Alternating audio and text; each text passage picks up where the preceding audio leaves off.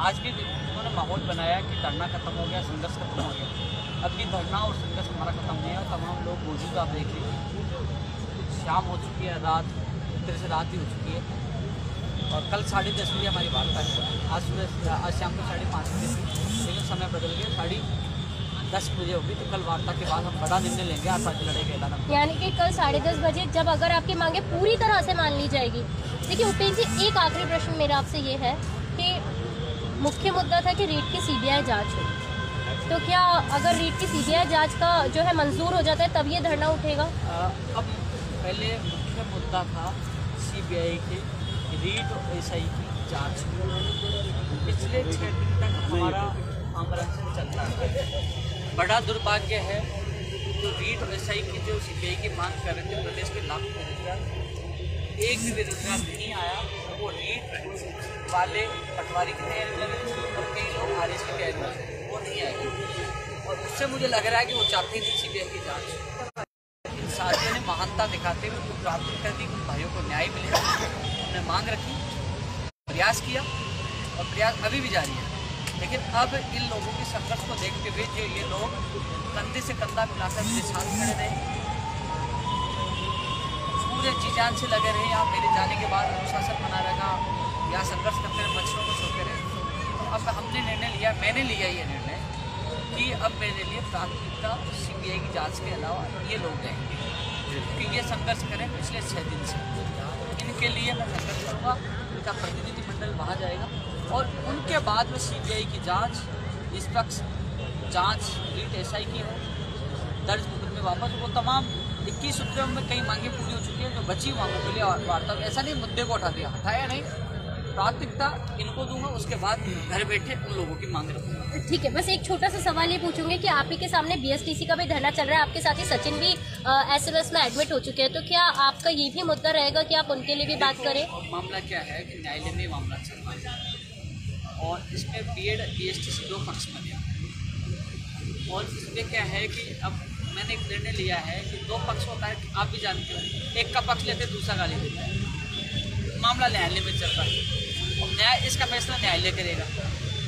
तो मेरा समर्थन देना समर्थन नहीं देना को मतलब नहीं होता। अब इनके तथ्य मज़बूत होंगे तो ये चीज़ जाएँगे उनके तथ्य होंगे तो वो चीज़ जाएँगे न्यायालय को करना जी। लेकिन मैं इतना ही कहना चाहूँ लोगों के लिए जो अनशन कर रहे सरकार को संवेदनशीलता सुनते हुए दिखाते हुए इन लोगों की बात सुनकर अनशन तुलवाना चाहिए। जी और जो युवा निर्णय मेरे हाथ में नहीं है। जी। मैं मैं कह दूँगा समर्थन दे रहा हूँ। भाई मेरे हाथ में तो समर्थन कोर्ट में है कोर्ट ही कर पाएगा B Ed B S T C का जो युवा साथी हम मौजूद नहीं है आपको देख रहे हैं बहुत समय बाद आपको देख पाए सबको चिंता थी आपकी क्या संदेश देंगे? देखो लाख मुझे मेरे वहाँ साथी मौजूद थे आईसीयू में मुझे फीडबैक दे रहे हैं। देखो एक चीज़ बता दूँ आपको अनशन की मैं आपको बता दूँ युवा साथी देख रहे हैं। अनशन में जैसे मैं बोल रहा हूँ, मैं ऐसे बोल सकता वहाँ बोल भी रहा था। वो कई बार चक्कर आ जाना, कमज़ोरी आ जाना, कई बार मैं बोल नहीं पा रहा था। तो युवा साथियों को ये कहना चाहूँगा मैं, घर से निकलकर अपने अधिकारों के लिए लड़ना चाहिए, हमेशा उपेंद्र जी वास्तविकता में आप यूथ आइकन बन चुके हैं। इस इतने बड़े आंदोलन के बाद पहले भी आपने बहुत संघर्ष किया है लेकिन ये जो आपका संघर्ष है ये काबिलियत तारीफ़ है क्योंकि अस्पताल में हमने आपकी कंडीशन देखी थी। यूथ आइकन तो नहीं कहूँगा लेकिन असली सफलता और असली जीत तब कहूँगा कि यहाँ बैठे सब चेहरों पर खुशी आ जाएगी। जी। इनके परिवारों पे खुशी आ जाएगी। जी। आज नहीं उपेन भाई जिंदाबाद। उपेन भाई। जिंदाबाद। पिछले नौ साल से संघर्ष किया है। कई बार मैंने अमरंचन किया है। और वर्तमान में डेढ़ सौ दो लाख दो लाख करीब हो गए होंगे, जो परिवार संघर्ष के बदौलत नौकरी कर रहे हैं। ऐसे धरना प्रदर्शन आंदोलन खूब किए हैं। राजस्थान का पहला ऐसा व्यक्ति हूँ जिसने सबसे ज़्यादा अनशन की सबसे ज़्यादा लाठियाँ खाई, सबसे ज़्यादा जेल गया और दो लाख परिवारों को मंजिल तक पहुँचा दे सरकारी जॉब वो करे दो लाख परिवारों का आशीर्वाद मेरे साथ था आपने देखा होगा मैं आईसीयू में जब एडमिट था तीन दिन तक ट्रेंड करवाना ट्विटर पे ट्रेंड करवाना मेरे का आई सेल नहीं है। देश में ट्रेंड करवाना। तो एक ये ताकत युवाओं की ताकत का एहसास एक बार मेरा सीएमओ से फ़ोन आ रहा है ना।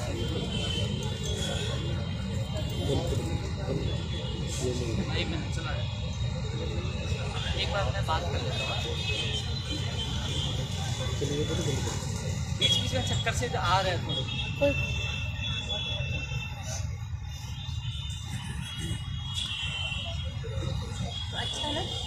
साथियों, नेताजी को थोड़ा सा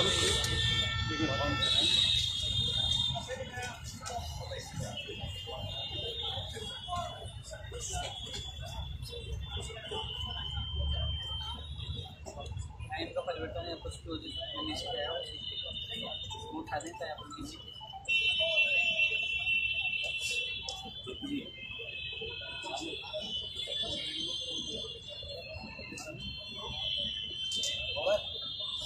सारे लोग पीछे बैठे हैं बस सबको दिखे अरे सारे बैठ जाओ ना। पीछे बैठ जाओ भाई पीछे होकर बैठो सारे। मैं भी सोच रहा हूँ इतने कितने आ गए। अरे तमाम लोग पीछे बैठेंगे जी बैठियो। बैठ के देखो ना आराम से।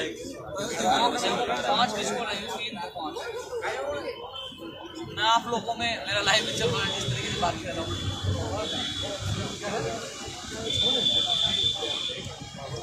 क्योंकि मैं आज बोल पा रहा हूँ, जिस तरीके से बात कर पा रहा हूँ ना, ये जोश मेरे ये हूँ इन लोगों ने बहुत प्यार दिया। बहुत प्यार दिया, सम्मान दिया। ये आयुष्य में जाके रोने लग गए जो इसका नेतृत्व कर रहे हैं। लोगों ने क्या कहा? ये एक क्विंटल का आदमी आपके सामने। लीड बढ़ती दो हज़ार अठारह का। अब इतने बड़े आदमी की भी आँसू आ सकते हैं क्या देखिए ऐसे कई लोग वहाँ जाके रोने लगे और उनकी जो सारी चीज़ें सारे डिप्रेशन से मैं वहाँ से गुजरा हूँ। चलो दोबारा फ़ोन आएगा तो फलों को खाने दे पाँच बार कॉल आए हुए हैं पाँच बार। तो उपेंद्र जी आपकी बातें सुनकर यही लगा कि कोशिश करने वालों की कभी हार नहीं मैं होती। एक चीज़ आपको बता दूँ मैडम मैं कई लोगों के यूट्यूब पे चाह रहा है मेरे फेसबुक पेज पे भी लाइव है। हाँ। अरे उसको वो नहीं लग रहा क्या मेरे लग रहा है मेरे ये यहीं पटक रखा है क्या? यही कहना चाहूँगा सभी युवाओं से यही अपील करना चाहूँगा कि युवाओं के नाम पर राजनीति करने वाले बहुत आते हैं। अभी मैं घर पहुँचा तो कोई मेरे पत्रकार दोस्त ने बताया कि सुबह से कुछ लोग आपको ट्रोल करने लगे। मैं क्यों भाई, चौदह अक्टूबर से ये लोग यहाँ मच्छरों में पड़े हैं। पहले टेंट नहीं लगाने दिया था। आज सड़कों पे सो रहे आज राजनेता कहाँ है? राजेंद्र राठौड़ जी, दिया कुमारी जी, एक एमएलए ने जो ट्वीट किया, एक मानवता दिखाई उनके लिए धन्यवाद। इस लोग इसलिए बैठे थे कि कब उपेन यादव को वो श्रद्धांजलि देने का इंतज़ार कर रहे थे। मैं मरूँगा न झुकूँगा और अंतिम सांस तक लड़ूँगा, यहाँ बैठ गया। धरना समाप्त नहीं हुआ, वो भ्रमित कर रहे हैं कि उन्होंने अनशन तोड़ दिया। धरना समाप्त कर दिया। धरना समाप्त नहीं हुआ, ये सैकड़ों की संख्या में धरना स्थल पे लोग बैठे हुए हैं। और कल साढ़े दस बजे वार्ता होगी। वार्ता सफल होगी तो धरना समाप्त होगा, अन्यथा पूरी रणनीति के साथ आर पार की लड़ाई लड़ेंगे। चाहे उत्तर प्रदेश प्रियंका गांधी जी की रैली में जाना पड़े, कहीं भी जाना पड़े, आर पार की लड़ाई लड़ेंगे। हमने चौदह तारीख को खुला मोर्चा खोला था सरकार के खिलाफ। शायद चौदह से पहले भी आप सरकार को वार्न कर रहे थे कि अगर आ, मांगे नहीं मानी मैडम तो फ़ोन भी किया था लेकिन इन दिनों में मैं बता रहा हूँ कुछ लोगों की दुकान बंदी बौखलाए हुए हैं बौखलाहट में जहर उगल रहे हैं। और अपने आईटी सेल क्योंकि मैं तो किसान का बेटा हूँ मेरा आईटी सेल नहीं है मेरे यही युवाओं का प्यार है और इन्होंने ट्रेंड करके पहले तो 30 सितंबर को पूरे देश में पूरे दिन पर चार लाख ट्वीट करके ट्रेंड करवाया। और इस बार इस बार तीन दिन तक ट्रेंड करवा के एहसास करवाया कि उपेन्द्र यादव युवाओं के लिए आवाज़ नहीं उठ रहा युवा उसके लिए जान भी देते हैं। अभी एग्ज़ाम पटवारी और ऐसा आरएस की चल रही इसलिए युवाओं की संख्या कम है। एग्ज़ाम हो जाने दो फिर तो हालात और भी गंभीर हो जाएँगे यदि सरकार ने मांगे नहीं सुनी। अपन अस्पताल में किस प्रकार का दबाव देखने को मिला? परिवार के रूप से में भी पुलिस वहाँ पे भेजी गई घर पे। अस्पताल में जो चीज़ें देखी आपको पता है किसी का बेटा भूखा हो तो माँ बाप खाना खाएँगे। जी, बिल्कुल। उनके आँसू भी मुझे देखने पड़े। वहाँ डॉक्टर के आके कहना कि भैया आपके गुर्दे खराब हो जाएँगे। आपको डायलिसिस पे डालना कर आप चले जाओगे। एक ने तो वो कीटोन चेक किया, बोले, ये तो मर गया मर गया गया। ये क्या बोल रहा फिर पुलिस वाले आए S H O Modi Dongri S H O S M S hospital. Surendra Pancholi ji और चौधरी जी आए। एस एच जो मोती डूंगरी वाले ने कहे, भैया अच्छा तो तुड़वाएँगे, पंद्रह सोलह लोग आए। पूरी तैयारी थी मेरे अच्छा तुड़वाने की। लेकिन मैंने ट्वीट किया, मैंने कहा एसओ साहब, साढ़े चार लाख ट्विटर पे मेरे फॉलो हो रहा है, चार लाख चौबीस हज़ार के करीब। मेरे फेसबुक पे लाखों फॉलो हो रहा मैंने ट्वीट कर दिया है। मैं आत्महत्या कर लूँगा, यदि मुझे ज़बरदस्ती अच्छा तुड़वाया था। और मैंने लिखित में दे दिया, डायरी में लिख दिया। तो बोले, नहीं, मरने नहीं देंगे। हालात गंभीर आप तो तुड़वाएँगे मेरे को ठीक है आप मुझे ज़बरदस्ती अच्छे तुड़वा दो आपके जाने बाद बिल्डिंग से कूदूँगा और आपका नाम लिखूँगा। तो उन्होंने कहा भैया आप तो जा रहे हैं। मैं चुका नहीं वो चले गए। उसके बाद एडीएम भी आए एडीएम साहब ने दबाया। उन्होंने बात रखी इकबाल जी आए उन्होंने समझाया। आर एस अधिकारी और आए और डिप्टी साहब आए एडीएम यानी कि वहाँ दौर चलता है क्योंकि वहाँ जो मेरा किटोन्स फोर प्लस हो गया था शुगर लेवल कम आ गया था और जो मेरे और इन्फेक्शन हो गया तो उनको लग रहा था कि अब खतरा है। एक बोर्ड की टीम बनाई गई तीन डॉक्टरों की एक बोर्ड की कमेटी बनाई गई। सारी चीज़ें लोगों को ये लग रहा था अब आपके बीच में आ गया चेहरे से मैं बॉडी से सही लग रहा हूँ लेकिन जो डैमेज हुआ हूँ मैं अंदर से हुआ। आज मैं अब खड़ा होता हूँ तो मुझे चक्कर आ रहे हैं। मैं सारा लेके चल रहा हूँ अभी। साथियों का सारा लेके चल रहा हूँ। वीकनेस है चक्कर आ रहे हैं। पूरी रात पर सो नहीं पाता था। यार भूखे पेट कौन सो पाएगा पूरी रात पर मोबाइल खोलूँ मूवी देखूँ तो मूवी अच्छी नहीं लगी बंद कर दूँ। बैठ जाऊँ अखबार पढ़ूँ फिर वो रख दूँ कभी इस करवट कभी इस करवट उधर देखूँ मेरी वार्ड में जहाँ मैं था सात मरीज़ मर गए। मैंने सोचा मेरा नंबर है। सात मरीज़? सात मरीज़ नहीं रहे। वहाँ एक एक एक जा रहे थे। दो एक तो पच्चीस साल की लेडीज़ थी एक बाईस साल की लेडीज़ थी और कुछ और भी लोग थे। तो ऐसी चीज़ देखो जब सामने मौत हो रही है तो ख्याल मुझे भी आ गया था भाई नंबर मेरा भी है।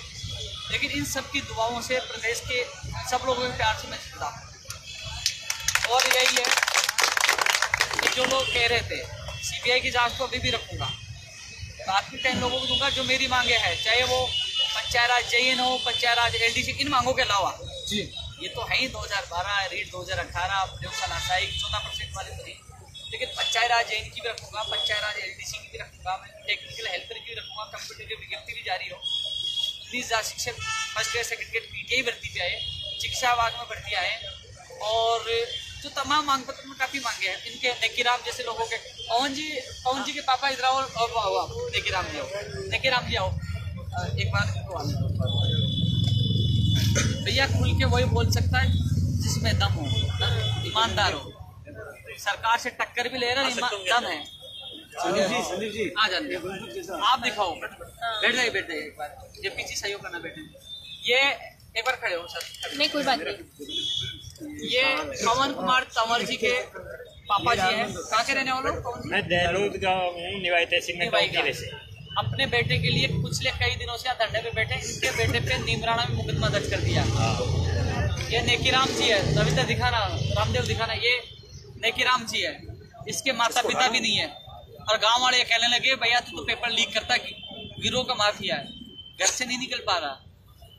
इनके मुकदमों को सारे राजनेता भूल गए। रीट रीट करते एसआई को भूल गए। लेकिन रीट और एसआई की मांग उठाए इनकी मांग इनसे वादा किया था इनका वादा भी पूरा करूँगा इनके मुकदमे भी वापस होंगे। क्या बात जीत करके बैठा पुलिस ने जिस प्रकार से नेकीराम जी को गिरफ़्तार किया क्या वो गांधीवादी तरीका था? वो तानाशाही थी जो गिरफ़्तार करके जो वसूली करने वालों को तुरंत बर्खास्त करना चाहिए। उनकी मान्यता रद्द करनी चाहिए साथियों, एक चीज़ और बताऊँ। आपने देखा होगा, जो हमने जो धरना प्रदर्शन अनशन किया, भैया, एक बार अमर हमने धरना प्रदर्शन किया, जिसके बदौलत, हमारे संघर्ष के बदौलत, रेडियो का पर लेग ईसीजी के चयनित अभ्यर्थियों में नियुक्ति आदेश हुए। परिचालक भर्ती 2011 जो 10 साल 11 साल से संघर्ष के दो सौ सत्तावन परिवारों में दीपावली से पहले खुशी आई, वो हमारे संघर्ष के बदौलत। ऐतिहासिक जो कानून, सख्त कानून आज नहीं समझ में आएगा गुमराह करेंगे कुछ नहीं होगा। भैया, कम से कम हमने कानून, जो मांग कर रहा था, सबसे पहले जो एक राजनेता ने नहीं की ओपीएन यादव ने चिल्ला चिल्ला के डिबेट में हर जगह मांग रखी थी, मांग पत्र की सेकंड मांग थी कानून बनाया जाए और उसका अध्यादेश लाए और वकल वार्ता होगी, इसमें कहूँगा जल्द से जल्द अध्यादेश लाया जाए और इसमें एक और चीज़ जोड़ी जाए, फर्जी डिग्री वाला मामला भी इसमें जोड़ा जाए। और बर्खास्त करने का नियम भी जोड़ा जाए कि तुरंत बर्खास्त किया जाए, निलंबित नहीं किया जाए और स्कूलों की मान्यता रद्द की जाए। ये सारी चीज़ों को इसको मजबूती से कानून की मांग रखूँगा। ये इतिहास, ऐतिहासिक जीत है। वही कंप्यूटर भर्ती का सिलेबस जारी करवा दिया, नोडल नोडल एजेंसी घोषणा करवा दी। इसके अलावा मोटर वाहन उपनिवेश की फ़ाइल पड़ी थी, वो निकलवा कर अभ्यर्थना भिजवा दी। भैया, पाँच छः मांग तो हमारी पूरी हो चुकी है। ये, क्योंकि जो लोग आए थे, फ्री उठ के चले गए, कुछ नहीं लेके गए। उनके दर्द इस बात का है कि यार इसने भूखा रह के संघर्ष किया तो इतनी मांगे करवा दी अब खाना खा के लड़ेगा तो कितनी मांगे करवाएगा? अब असली लड़ाई तब स्टार्ट हुई लड़ेंगे। और वो मांगे भी जो अब ये लोग बैठे ना यहाँ बैठेंगे और लड़ेंगे कल हमारी साढ़े दस बजे वार्ता है। कुछ मांगे साढ़े दस बजे वार्ता में भी होगी। अब एक चीज़ और निकल के कुलदीप जी आपको और बताऊँ? जी। मुझे थोड़ा सा बीच में चक्कर भी आ जाते। जब मैं सफल हो जाता हूँ अरे यार ये तो सीएम से सेटिंग है। अब सीएम के खिलाफ मोर्चा खोल दिया तब क्या बोलेंगे? अभी मैंने राजेंद्र राठौर जी का दिया कुमार का दमन मुझे लगता है थोड़ी दिन बाद ये मुझे बीजेपी वाले ने बोलने लग जाए। भैया मेरे संकट में जो साथ दिया मैं सबका धन्यवाद दूँगा किसी पार्टी का हो मैंने पार्टी ज्वाइन नहीं की। बारह बजे पूछा। कहीं कहीं मीडिया से डरे हैं इनको। रात को ये पूछे लेकिन मैं लाइव कई लोग देख रहे होंगे जब वो पूछे आने की सूचना मिली तो मेरे यहाँ पाँच भर्तियों के प्रतिनिधि मंडल बैठे थे। जी। उन प्रतिनिधि मंडलों के एक एक सदस्य को बुलाया उनको सारी चीज़ें बताई। मैंने अकेले नहीं किया मैंने कहा आपका अकेले का फैसला नहीं था? मैंने कहा आप निर्णय करो। जी। इन्होंने निर्णय किया ये सहमत है कि वार्ता से ही रास्ते खुलेंगे। उनके इन सबके निर्णय के बाद भाई संदीप जी सही कह रहा हूँ ना? काका जी ये कहा देवेंद्र जी सही कह रहा हूँ ये वार्ता में ये भी शामिल थे ये भी शामिल थे। और कहा है वार्ता वाले भाई? ये पीछे है एक नाम। ये सारे शामिल थे इनकी सहमति इन्होंने मैंने इनको सप्तम से सोचा इनके निर्णय लेने के बाद फिर हमने जो यहाँ यहाँ बैठे थे उसके बाद हमने अनशन तोड़ा नहीं तो मैंने कह दिया मर जाऊँगा मैं हटने वाला नहीं हूँ। फिर इसके बाद आज धरना स्थल पे मैं आया। इनके ऊपर छोड़ा हूँ इनके ऊपर नहीं मैं बैठा हूँ इनके साथ अभी बैठा हूँ। और कल साढ़े दस बजे वार्ता होगी असफल होती है।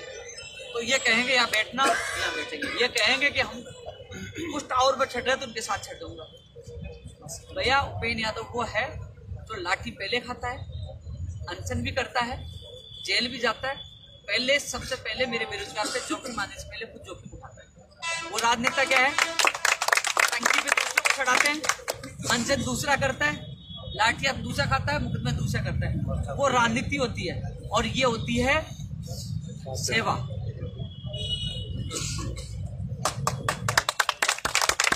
और कभी भी आईटी सेल मज़बूत है, उनका पैसे वाले हैं लाखों रुपए दे रखे हैं।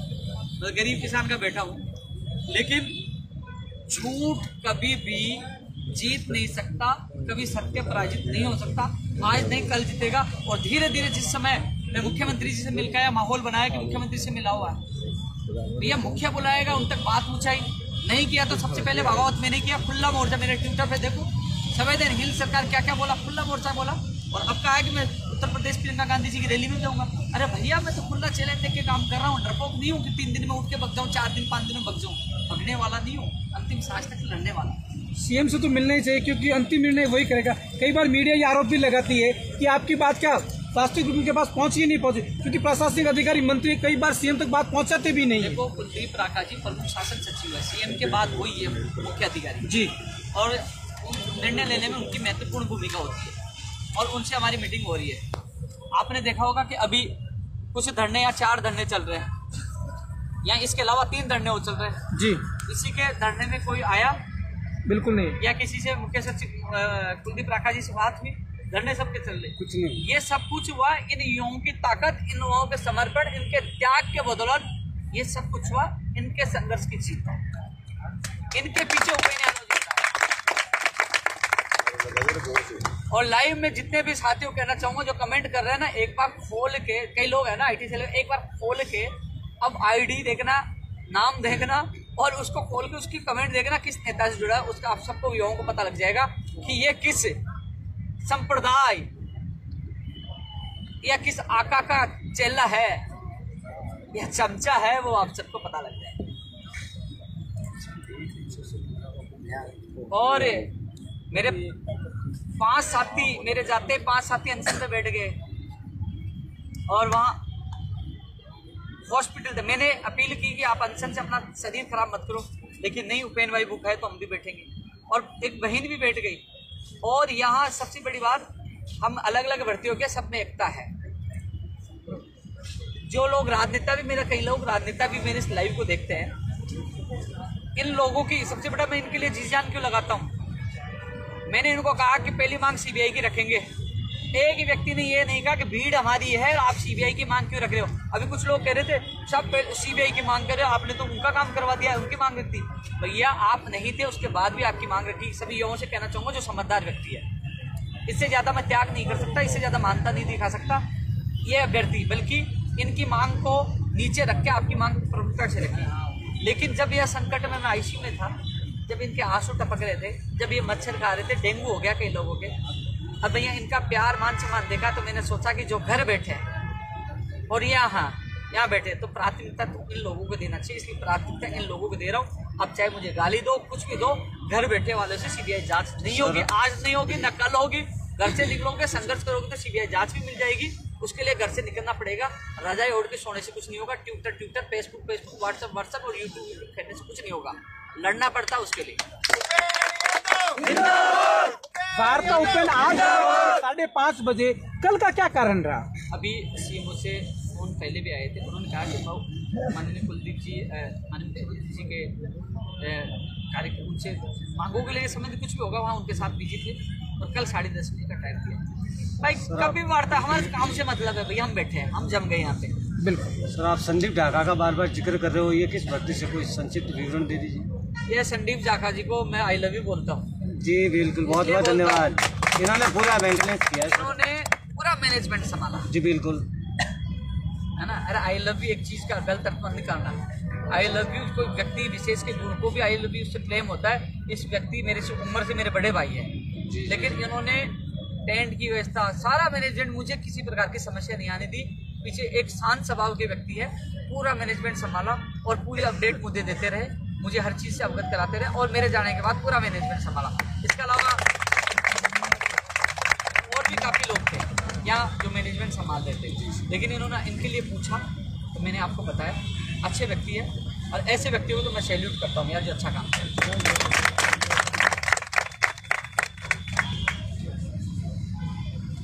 साथियों, जब कोई व्यक्ति संकट से निकल के आता है मृत्यु से से निकल के आता है कि आदमी, जहाँ उनका मैंने प्यार देखा ना तो इनके लिए मुझे बहुत आज, मैं इतनी मस्ती से क्यों बात कर रहा हूँ?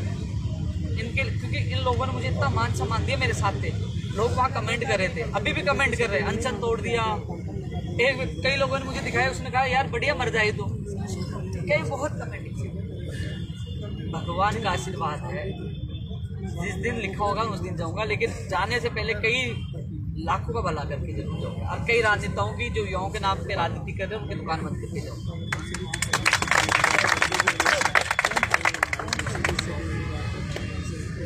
स्कूल व्याख्याता में देवेंद्र है, हनुमान दाखा है और केशव है। ये तीनों मज़बूत स्तंभ है। वहीं स्कूल व्याख्याता उसमें, प्रयोगशाला साइक में। गोविंद, अरुण, राजेंद्र अरे भाई और कोई का नाम लेना हो तो बता दीजिए कितना रीट होगा। दो हज़ार अठारह के बारे काफ़ी वो है। अपने 2018 में भी जी जी के साथ अरे भाई तेरा नाम क्या बता? गजेंद्र सिंह। भाई गजेंद्र सिंह भी है। जी गजेंद्र सिंह राठौर फ्रॉम जालोर। हाँ, गजेंद्र सिंह राठौर फॉरम जालोर। जालो सब बोल रहे हैं। पूरा क्योंकि भाई लाइव तो अपना आ रहे हैं और अपन को धरना पे दे यहाँ रात को यहीं सोना है है ना? हालाँकि मेरी वीकनेस है। मुझे आराम की सलाह दी गई थी कि आपको दो चार पाँच दिन आपको आराम करना घर से नहीं निकलना मुझे दवाई भी लेनी है। ठीक है, मुझे कुछ इन्फेक्शन हुआ, दवाई भी लेनी है।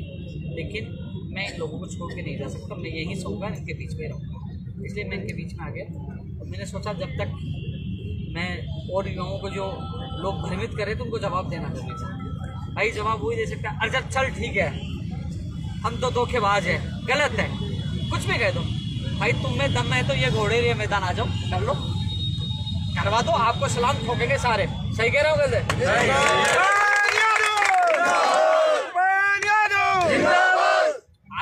आपको आ जाइए जिसको मैं खुला चैलेंज दे रहा हूँ कह रहा मैं काम करा दूँगा आ जाओ। इसका पूरा का नेतृत्व धरना चलागा मैं नेतृत्व कल दे दूँगा। अभी आ जाओ अब दे दूँगा। आ जाइए बैठ जाइए इनके साथ काम करवा दीजिए आपको नेतृत्व देता हूँ। आपको बेरोजगार संघ का अध्यक्ष बना देता हूँ आ जाओ। चैलेंज दे रहा हूँ कोई देख रहा आ जाओ। दम हो तो। लेकिन कमेंट मत करना चाहिए कुर्ता चाहिए, उसके लिए कुर्ता। जब डॉक्टर ने, डिप्टी ने एसआई ने, सारे प्रशासन ने कहा कि मरने वाला है कीटोन्स बढ़ गए। मैंने कहा, मैं मर डरा नहीं, अंतिम क्षण तक लड़ा और मजबूर कर दिया सरकार के प्रतिनिधि को एस एसएमएस हॉस्पिटल में पूछने के लिए। इसको बोलता है इसलिए ताकत और संघर्ष, उठ के नहीं गया वहाँ से और मेरा एक धरनाथ यहाँ बैठा था मेरा अनशन नहीं है। अनशन टूटा है तो आप सबके पास जाओ। पाँच चार हॉस्पिटल में एक धरना स्थल में यहाँ तक आए वो लोग।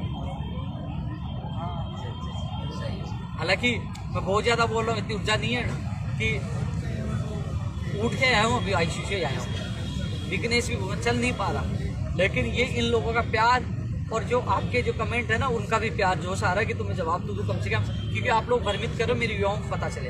मेरा वीडियो कई युवाओं के माता पिता अभिभावक भी देखते हैं। और कई लोगों का फ़ोन आए कई माताओं के, एक दो का रविंद्र के पास फ़ोन आया, वो रोने लगे कि मेरी बेटी, तीन बेटी है नागौर से फ़ोन आया। जब मैं रोने लग गई तो उनकी माँ का क्या हाल होगा? बहुत लोगों ने फ़ोन करके दुआएँ की। मैं सबको धन्यवाद देना चाहूँगा जिन्होंने मेरे लिए दुआएँ की।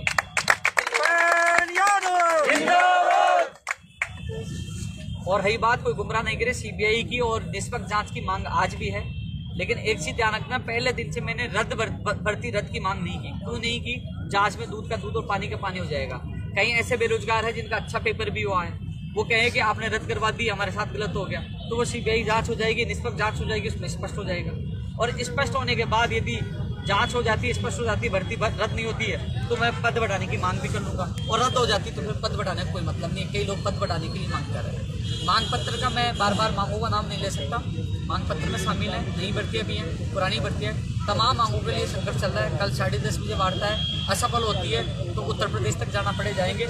यहाँ भी संघर्ष करना, यहाँ भी चलेगा। ये निर्णय हमारी कमेटी के सदस्य एक एक भर्ती का एक एक कमेटी का सदस्य वार्ता में जाएगा, उनके सामने वार्ता होगी और यह बैठ के वापस निर्णय होगा। उपेन्द्र यादव निर्णय नहीं लेगा, कल भी इन सबने मिलकर निर्णय लिया था और निर्णय वापस जो कल वार्ता होगी, उसके बाद भी ये निर्णय लेंगे। हम सब जो मिलकर, सबकी सहमति से निर्णय लेकर आर पार की लड़ाई, हम सब मिलकर लड़ेंगे। हम, ये सारे लोग शुद्ध बेरोजगार हैं, न किसी आकाओं के चेले नहीं है, किसी से मिले हुए नहीं है। ये शुद्ध पीड़ित बेरोजगार है, अपनी लड़ाई लड़ना जानते हैं और हम मिलकर निर्णय लेंगे, हम कैसे लड़ाई लड़ेंगे। और सभी युवाओं से मैं कहना चाहूँगा, आपसे ये कहना चाहूँगा कि जो कमेंट कर रहे हैं ना, उनकी आईडी देख के आप उनको ज़रूर जवाब देना। वैसे कोई फ़र्क नहीं पड़ता। अब मेरे आ- ये कह दिया, मेरे को मेरा काम करना है। अभी तक तो वो मेरे पास फ़ोन आ रहे थे, परिचालक भर्ती वाला एक आया कल यहाँ पे। वो आ रहे बड़े भाई साहब, मिठाई के कल से मेरे पास रविंद्र बता रहा था कि फ़ोन आए, परिचालक भर्ती वालों का आ रहा था कंप्यूटर भर्ती वालों का आ रहा था। वरिष्ठ अध्यापक बोर्ड दो हज़ार अट्ठारह वालों का आ रहा था। और कौन सी भर्ती? रेडियो का बोले मिठाई लेके आए। भाई, अभी मत मंगाओ मैं अनशन पे हूँ। तू जाने दे यार भाई। तो इतना प्यार मान सम्मान मुझे मिल रहा है इससे मैं खुश हूँ ये मेरी ताकत है। और अं, अंतिम क्षण का मतलब ये होता है अंतिम क्षण का मतलब होता है कि लगातार लोगों के लिए लड़ाई लड़ना। और वो लड़ाई लड़ रहे हैं। कल मीटिंग होगी और मीटिंग के बाद आगे का निर्णय लेंगे और हम सब मिलकर पार की लड़ाई लड़ेंगे ठीक है भाई तेरे बिल्कुल हो गया? बिल्कुल सर। ठीक है। ठीक हो। स्वास्थ्य ठीक है?